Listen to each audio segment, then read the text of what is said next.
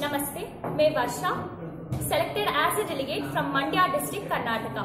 Youth Parliament, which was organized by central government and Nehru Yuva Kendra, which was held in every district of India, is a tremendous opportunity for youngsters to execute their innovative ideas for new India. It was something हर एक participant को कुछ सीखने को मिला. Never thought this as a competition, but a great platform to speak about our social issues and finding solutions for them. No doubt, our beloved Prime Minister Shri Narendra Modi brought a little bit of buzz, a little bit of star quality. This is what India needs today. Literally, this program changed my way of thinking.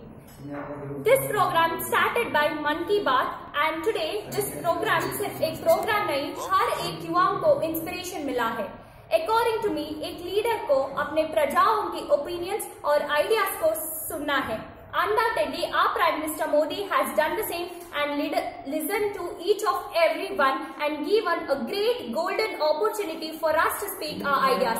हम आपके साथ हैं, हम भारत का निर्माण के साथ हैं. I request ऐसे programs हमेशा बनाते रहे. हम आपके साथ हैं. धन्यवाद.